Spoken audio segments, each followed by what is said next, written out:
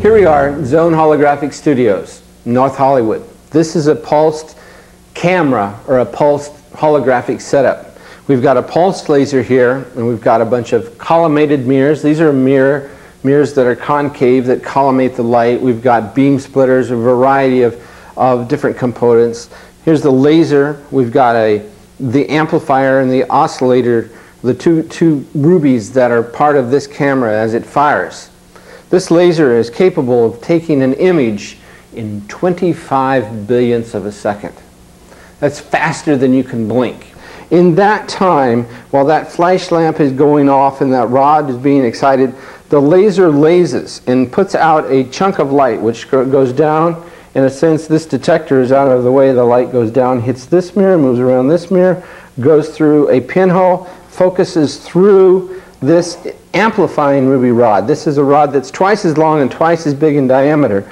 And then what comes out of here is a ruby pulse, about the size of your little finger. And where it goes from here is it goes into this optic system. Some of it hits this mirror and goes down.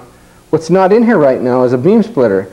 Some of the light off this beam splitter goes up through this lens, through this mirror. It hits this mirror and comes out as a column goes up to that mirror and comes down to where the film would be mounted. And uh, it's kind of interesting to think when this laser fires, there's this, this 19 feet of light traveling through all these mirrors, very, very, very fast, of course, but it's going around and filling up the whole room with light going all over the place. It's a pretty exciting experience when they go off. And what's neat about this, and, and, what you can do with these mirrors also, I've designed systems where these mirrors can be taken out of this and put on the optics table so that they're interchangeable. And by using these mirrors in these situations, you can reduce or enlarge or change the image size that you have.